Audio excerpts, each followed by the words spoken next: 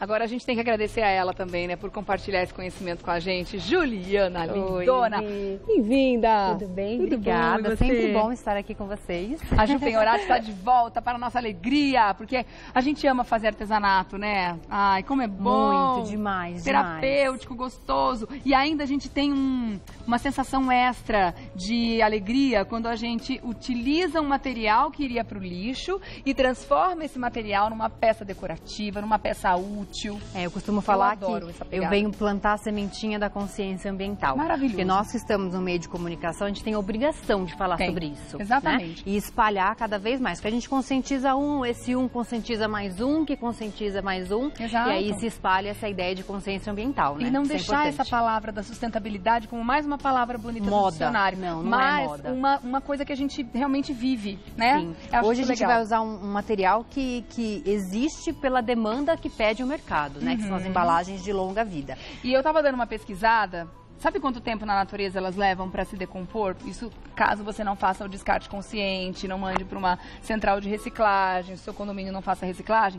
100 anos, Sim. essa caixinha. E esse material em específico, ele é mais complicado ainda de reciclar, porque ele é feito com três camadas. Sim, precisa Tem separar. plástico, alumínio É. e papel. Tem toda uma divisão. E se você coloca sujo no lixo, depois eles também não conseguem, porque gruda de um jeito que não dá para Não lavar. dá pra lavar. E assim, Então, é pra importante descartar- também, quando Ah. for descartar, dá uma lavadinha. É. Em respeito a quem está Exato. reciclando, né? Mas não não chega lava- muito sujo. Não lava toda dobradinha, não precisa dar uma Ah, desmontada nela, porque isso. senão, ó, a sujeira que fica aqui depois eles não conseguem, eles têm que dispensar do mesmo E jeito. cria bicho, né? É. Então, o sujo eh, dificulta ainda mais o processo de reciclagem. Verdade. E outra coisa, esse material, ele é reciclável, Uhum. mas somente por volta de 30% chega efetivamente para reciclar. Tá então, vendo? são coisas bem diferentes, né? É. Ser reciclável e ser reciclado. Uhum. É isso que a gente tem que, que conscientizar cada vez mais, né? É, vamos fazer a nossa parte, precisa. né? É, e aí, lá. uma das partes que a gente pode fazer é transformar isso em arte. E a ideia da Ju hoje é fazer essas flores lindas e Olha fazer um fofo. Quadro. Olha que mimo aquele quadro, gente. Uma moldura que você pode escolher a moldura que você quiser, mas existem molduras baratésimas hoje em dia. Inclusive, esse era um porta-chaves Ah, é? que virou um quadro. Olha e é da minha mãe, inclusive. Obrigada pelo empréstimo, É, que viu, bom, mãe? mamãe arrasou. Muito e aí você pode fazer um quadro lindo para colocar na sua casa, quarto de criança, ou você pode fazer em versões maiores, fica maravilhoso. Fica. E essas flores, eu acho elas lindas, eu vou aprender com você a fazer hoje, porque eu quero colocar em prática. Fica muito bonito aplicar. Como você mostrou ali, de formas diferentes, ó. Aqui é com casca de Aqui é a caixa de, ovo, isso. Também fica lindo. Aqui são rosas, Mas né? você pode fazer, aplicar essas flores em peças de madeira. A gente vê Sim, muito. espelho fica bonito também. Fica, emoldura de espelho. Dá pra brincar à vontade. Madeira de demolição fica bem bonito. Fica. Esse que tá mostrando, ó, é uma flor de cada jeito, tá vendo? Ó? Lindo, lindo demais. Então são várias flores. Então assim, a gente tá aqui ensinando um modelo. Aí quem tá em casa usa a imaginação e transforma em outros modelos, É né? Pode aplicar onde quiser. o que, que você vai precisar para fazer esse quadrinho lindo? O quadro em MDF. Ou você pega um, um da sua casa aí para aproveitar. É. Tinta acrílica branca, que você vai dar o fundo, né? A Isso. tinta acrílica na cor da sua preferência depois. A gente vai usar o flores. roxo, que é a minha cor preferida. Ai, muito lindo.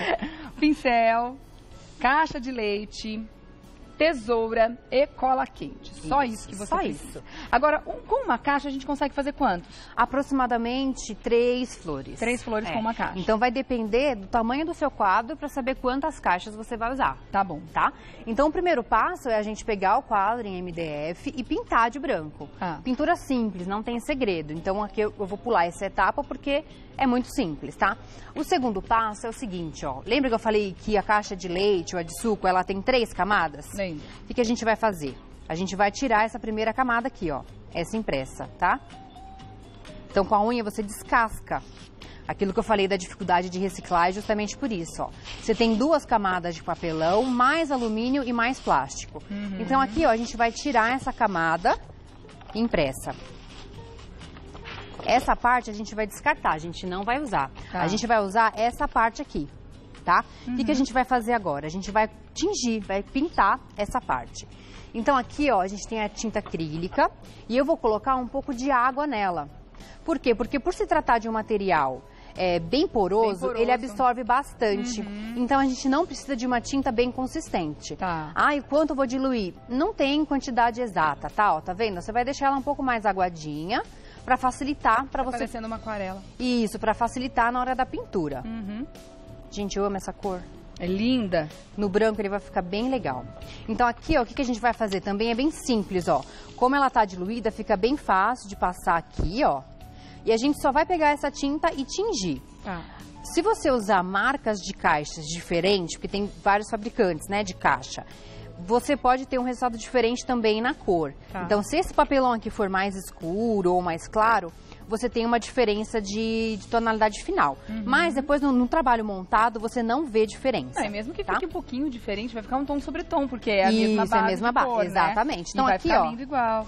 Bem simples, Rê. Como ele absorve bem, depois de uns 15 minutinhos Já você já tá pode, você já pode trabalhar com ele, Tá, tá? espera eu vou secar. deixar esse daqui, espera secar e a gente vai cortar aqui, ó, tiras como essas aqui, ó.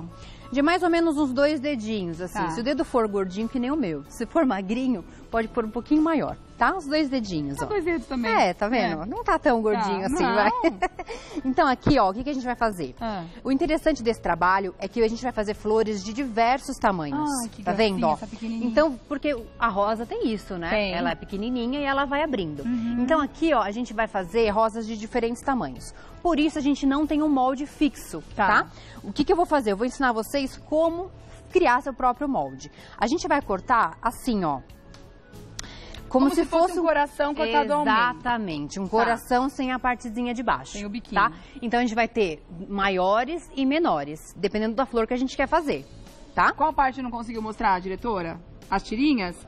Ah, o corte, ela, ela aqui, ó. Primeiro, dois dedinhos, você vai cortar em tirinhas, tá? Dois dedos e aqui mais ou menos tem quanto? É aqui, É a largura da caixa. É a largura da caixa Isso. mesmo, tá. Na verdade, a altura, né? Que virou largura depois. aí você vem e corta, Como se fosse um coração sem a partezinha aqui de baixo. Tá. Tá? É bem, um trabalho bem solto, porque quando a gente for montar a flor, a gente pode ajustar esse- essas pétalas. mas tá? aí uma tirinha dessa aqui, eu vou cortar quantas vezes pra dar uma pétala? Mais ou menos isso aqui, ó. Ah, então mais Depende ou do tamanho da flor que você quer. Uns três três, ou ou quatro, quatro. tá. Você pode cortar de diferença. Por exemplo, Três ou aqui, quatro ó. desse tamanho primeiro. Esse é um tamanho, esse é outro, ó. Ah, então, tá. tá vendo? Ó, depende do tamanho da flor que você quer. Ó lá. Cada um é de um tamanho, Entendi. tá? Ok. Então vamos lá. Aqui, então, eu cortei esse pedaço e vamos cortar, ó. Fazer a primeira parte de cima do coração e a outra parte do coração. Ai, que fácil. Bem solto, Rê. É. Não precisa de. Porque Não tem assim, um padrão. se a gente for olhar bem a- as rosas, elas, Faz mais uma elas são lindas. pegar bem pertinho. Elas são lindas movimento. mesmo sem ser perfeitas. É, tá? olha lá, então bem aqui, pertinho. ó. Peraí, começa agora, vai. Ó, Vou girar, fazer a primeira parte de cima do coração e a outra parte de cima do coração. Tá. Pode ficar um tamanho maior que o outro, um lado não tem Não problema. tem problema. A gente vai ajustar isso quando a gente montar a flor. Entendi. Se ficar maior ou menor, a gente vai ajustar cortando. tá? Quantas dessas eu preciso pra fazer uma flor? Quantas dessas? Depende da flor. Se eu, dessa daqui, eu preciso só de umas três. Essa Três, pequenininha. da pequenininha. Dessa aqui, eu vou precisar de sete, oito, nove pra Tá. flor maior. Então, pra fazer a pequenininha, você vai usar umas três dessa aqui que você já cortou. Isso. Se for fazer a flor maior, uma sete. Isso, É isso? por aí. Tá. Isso, tá? Beleza. Agora a gente vai começar montando essa flor. Então a gente vai usar a cola quente, tá? Aqui, ó, a gente vai girar pra formar o botãozinho. Hum, Então isso é mas essa gira com a parte cor pra dentro. com a cor pra dentro. É porque aqui, ó, a gente girou e essas abas a gente vai virando para fora. As pétalas, tá vendo, ó? Tá. A gente vira pra fora. E agora eu vou pôr a cola quente. A gente vai ver que ela vai, ela vai se formando, você vai entendendo a flor, tá? Mas você passa a cola quente da metade pra baixo. Isso, só da metade pra baixo, só Tá. na parte de baixo, tá? Agora eu vou pegar outra pétala. Então eu vou passar aqui, ó, a cola na metade do coraçãozinho que a gente que a gente fez. E vou encaixar onde tá faltando pétala. Sempre virando a pétala pra fora, ó como já vai formando, tá Ah, vendo, que ó? Legal. Então aquela tá pequenininha, vamos fazer mais pra ela ficar maiorzinha. Então passa, ó, bem devagarzinho. Peraí, gente, vamos lá. Mostrou. Passou a cola embaixo. Deu pra ver em Isso. casa? Pega a pétala e Onde coloca... tá faltando, você encaixa e gira, ó. Tá. Então, aonde ela fechou do outro lado é o lugar onde você vai vir com a outra. Você vai preenchendo, com as preenchendo, de um pétalas. lado e do outro. E aí você pega e vira aqui, ó. E ela vai formando a flor, ó.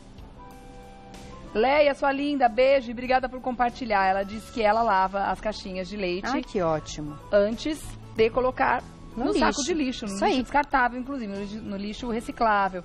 É, e não só as de leite, né? Porque essas, essas caixinhas hoje tem todos os tamanhos, tem para creme de leite, Molho de tomate, molho de pra tomate, tudo. pra até, até milho, ervilha tem hoje. Então é, é interessante que a gente saiba como utilizá-las, né? É, e é o que eu como falo. descartar também, caso não vá utilizá-las. Sim, sim, é o que eu falo, né? Isso, isso, essas, essas caixas surgiram com a demanda de mercado, né? Uhum. A população aumenta, precisa se alimentar.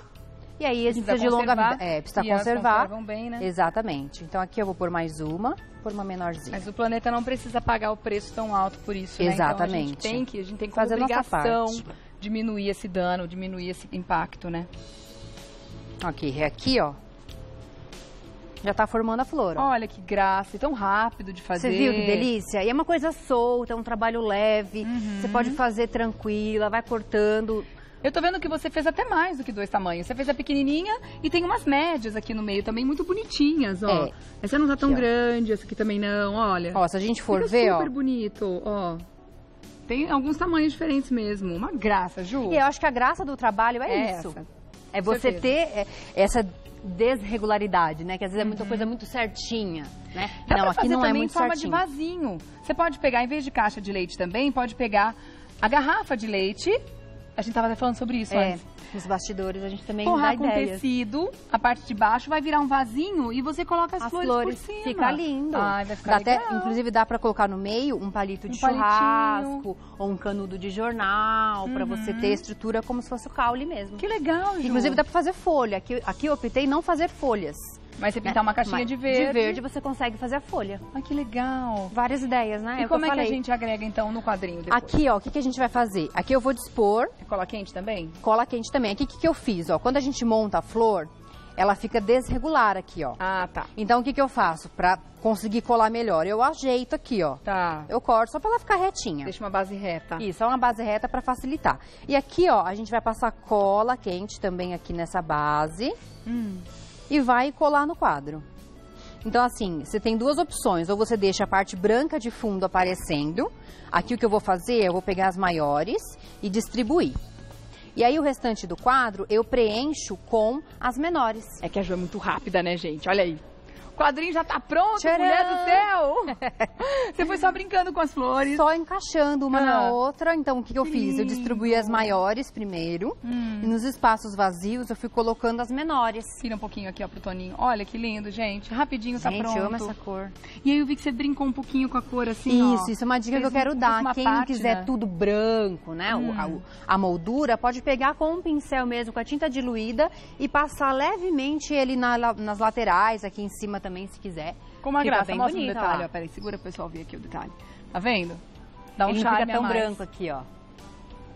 Né? É tipo Super um pátina. bonito. Tá vendo? Fica aparecendo prata, né? Da, da É. caixa de leite. Se eu quiser fazer ele numa versão colorida, você também pode, numa boa, Sim, pinta fica lindo. Eu até pensei em cor. trazer uma bem colorida também, mas eu, eu primeiro dei essa opção e aí trouxe o outro, que é bem colorido. Uhum. Você sabe, né? Eu gosto lindo. de cor. Ai, gente, lindo. Eu fico vendo essas ideias, tenho vontade de todo De dia, fazer. tarde, ficar fazendo artesanato, mas é, não dá tempo de colocar em Eu prática amo. todo dia. Mas Não o tempinho que É sobra... muita ideia. Eu tô num projeto de um tapete que faz uns três meses. Do que que é? tapete de pompom de lã. Ai, que delícia. Ai, tá ficando trouxe- muito gostoso, mas tá demorando muito. Aquela mandala em espiral toda Ah. colorida, Ah, em é? crochê. Ai, que Ah, delícia. Você fez é um tapete com essa mandala, assim? Não, mas eu go- gostaria de ter um tapete Gente, imagina que mandala. maravilhoso. Ele é muito colorido, né? Então você olha assim... Não precisa de mais nada no quarto, né? Você tem uma Tchan. decoração, você tem uma decoração neutra, Gostosa. mas com alguns É. objetos coloridos. Adoro. É, minha casa é assim, você tem Aqueles detalhes coloridos. que fazem é, a diferença, é, então é né? Preto, branco Ai, e os detalhes coloridos. Arrasou. Quem Obrigada. sabe quando o tapete ficar pronto eu trago, que ele ficou É grande. isso, ai que o problema é beleza. esse. Se ele fosse pequeno, tava pronto já. Traz pro revista. Mas eu fiz ele pro meio do quarto das crianças, fiz ele enorme. Nossa. Muito grande. É tão fofinho, né? Tão gostoso. A turma tá Passar adorando, eles ficam pisando antes de estar pronto, mas tudo bem. Gente, é o seguinte, quer fazer contato com a Ju? Você deve fazer contato com a Ju. Sabe por quê? Lá no canal, Sim, eu trouxe uma luminária, que é o próximo vídeo que entra no canal, que Ah. é feita com papelão e jornal. ai que legal. Tem coisas com caixa de leite também no canal. Olha ali, ó, porta-lápis, por porta-lápis, exemplo, o porta-treco. Ele é um porta-treco e ele também é também? porta-recado. Caixa de Também leite? a caixa de leite a gente já ensinou aqui também. Ah, que legal, gente. Não dá pra perder essas dicas, né? O canal tem tantas outras ideias pra você. Lá no YouTube é? É, Ateliê Redecora, Uhum. Juliana Penhorati, aí tem os meus vídeos. Tá. Nas redes sociais me acha como Ateliê Redecora e como Amigo Que Tá. é a parte de crochê. Tá certo. Então vai me achar, é só buscar lá que eu tô lá. Tem nosso telefone também, né, gente? 97283-2503. 97283-2503. Amei, Aplausos. obrigada. Arrasou, achei lindo demais. Obrigada, Obrigada, e viu, até a Ju? próxima. Até. Obrigada mesmo, viu? Gente, quanta ideia boa, né? Uma melhor que a outra, a Ju arrasa no artesanato. Inclusive, ó, deixa eu mostrar. Você que tá querendo fazer outras ideias de quadrinho, além dessa de caixa de leite, ó, olha com caixa de ovo. Lindo demais. Olha, gente, Espírito Santo, coisa mais linda. Feita de crochê. Ah, eu amei. Tudo que a Ju faz, eu sou muito fã.